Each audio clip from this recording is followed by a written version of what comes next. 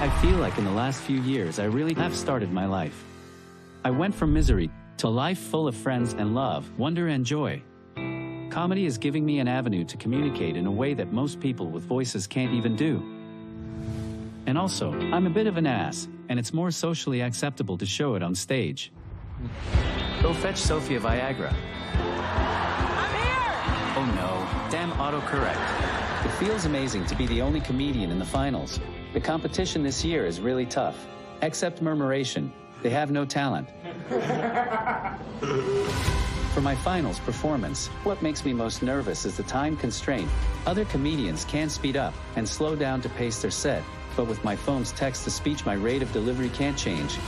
The other thing I really fear is a broken thumb.